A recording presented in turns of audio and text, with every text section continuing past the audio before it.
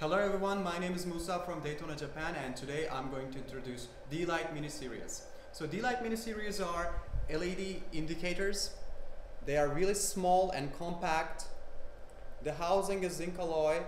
Uh, it has a premium uh, smooth surface, matte black. Very nice. And uh, we have three special designs of D-Light Mini Series.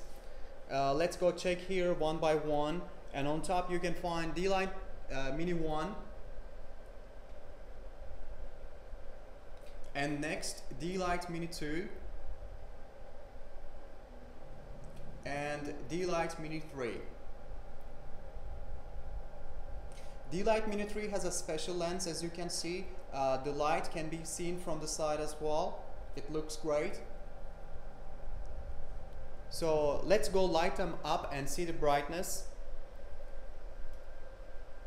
As you can see, they are really bright. Of course, they have E-mark, so they are 100% legal to use in Europe. And uh, if you have an old bike or if your motorcycle uh, doesn't support LED indicators, uh, you can buy this uh, relay as well, which is sold separately. This is also from Daytona. So these uh, indicators are waterproof and uh, tested up to 10 G of vibration forces. So they are really strong and durable. And these are M8 type uh, indicators. And uh, these are sold as a set, left and right set, sold in pairs.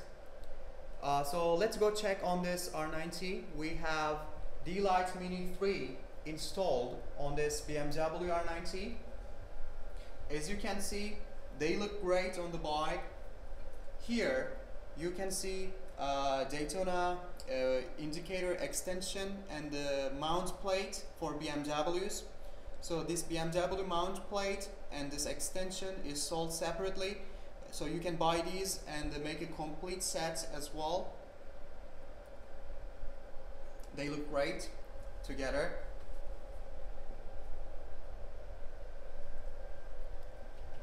This is all for today's D-Light mini series introduction. Thanks for watching.